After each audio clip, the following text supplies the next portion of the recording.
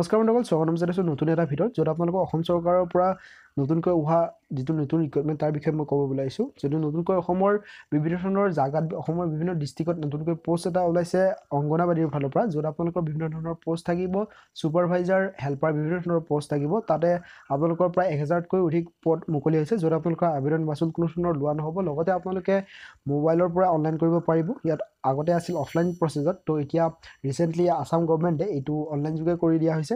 তো আপোনালোকে নিজৰ মোবাইলৰ পৰা হওক বা নিজৰ কম্পিউটাৰৰ পৰা হওক আপোনালোকে অনলাইন যোগে কৰিব পাৰিব অনলাইন আৰু ইয়াত আপোনালোকক এডুকেশ্যন কোৱালিফিকেশ্যন বিচাৰিছে এইট পাছ আৰু টেন প্লাছ তো চিম্পলি অসমৰ যিমানবিলাক নেকি ল'ৰা ছোৱালী আছে এইট পাছ আৰু টেন পাছ তেওঁলোকে এই ৰিকুৱাৰমেণ্টত ইলিজিবল হ'ব। তো ফাৰ্ডাৰ ইনফৰ্মেশ্যনখিনি আমি অফিচিয়েল ছাইটত দেখুৱাই দিছোঁ বাৰু।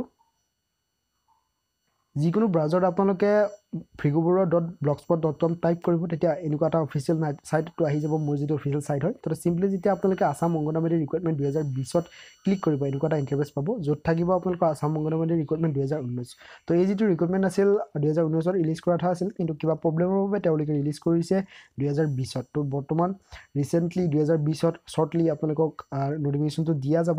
তো এই যিটো নটিফিকেশ্যন আহিছে ছ'চিয়েল ৱেলফেয়াৰ তথা ৱমেন এণ্ড চাইল্ড ডেভেলপমেণ্ট ডিপাৰ্টমেণ্টৰ পৰা আহিছে। ইয়াত আপোনালোকৰ অংগনাবাদী ডিপাৰ্টমেণ্টত অনলাইন যোগে আবেদন কৰাৰ বাবে ইনভাইট কৰিছে অসমৰ সকলোবিলাক ইলিজিবল ল'ৰা ছোৱালীক। তো ইয়াত ফাৰ্ডাৰ ইনফৰ্মেশ্যনখিনি চাই লৈছোঁ তলত স্কুল ডাউন কৰি।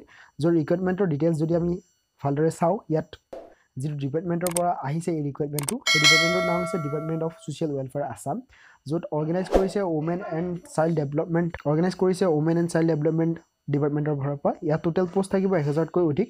নেক্সট আমি কথা পাতিম পষ্টৰ নাম। ইয়াত পষ্টটোৰ নামটো হৈছে anganwadi helper worker project manager supervisor তাতোতকৈ বিভিন্ন ধৰণৰ পষ্ট থাকিব। ইয়াত এপ্লিকেশ্যন প্ৰচেছটো হ'ব অনলাইন অৰ্থাৎ আপোনালোকে অনলাইন যোগে ইয়াত আবেদন কৰিব পাৰিব। জব লোকেশ্যন থাকিব এক্ৰছ আছাম তো অসমৰ বিভিন্ন ধৰণৰ ডিষ্ট্ৰিক্টত আপোনালোকৰ অসমৰ প্ৰায় তেত্ৰিছখন ডিষ্ট্ৰিক্টত আপোনালোকৰ পষ্টিং দিয়া হ'ব। ইয়াত এজ লিমিট বিচাৰিছে মিনিমাম এজ হ'ব লাগিব আপোনালোকৰ ওঠৰ বছৰ আৰু মেক্সিমাম হ'ব লাগিব ফৰ্টি ফাইভ বছৰ। তো ওঠৰৰ পৰা আৰম্ভ কৰি যিখিনি নেকি ফৰ্টি ফাইভৰ ল'ৰা ছোৱালী আছে অসমৰ এইট পাছ আৰু তথা টেন পাছ তো তেওঁলোকে এই ৰিক্ৰুইটমেণ্টত আবেদন কৰিব পাৰিব। ইয়াত এডুকেশ্যন কোৱালিফিকেশ্যন বিচাৰিছে যিকোনো কেণ্ডিডেটে আবেদন কৰিব পাৰিব।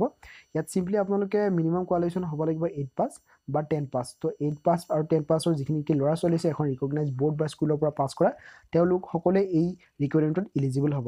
লগতে ইয়াত এপ্লিকেশ্যন ফিজৰ যদি কথা পাতোঁ এছ চি এছ চিৰ বাবে কোনো ধৰণৰ এপ্লিকেশ্যন ফিজ লোৱা নহয়। লগতে জেনেৰেল আৰু যিখিনি কি অ' বি চি কেণ্ডিডেট থাকিব তেওঁলোকৰ বাবে হাণ্ড্ৰেড ৰুপিজ এটা পে'মেণ্ট লোৱা হ'ব য'ত আপোনালোকে অনলাইন পে'মেণ্ট কৰিব পাৰিব।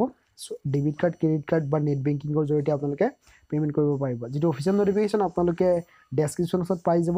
আৰু যিটো ডিপাৰ্টমেণ্টৰ পৰা যিটো ৰিলিজ হোৱা অফিচিয়েল নটিফিকেশ্যন সেইটো অলপ দেৰিকৈ এভেইলেবল হ'ব।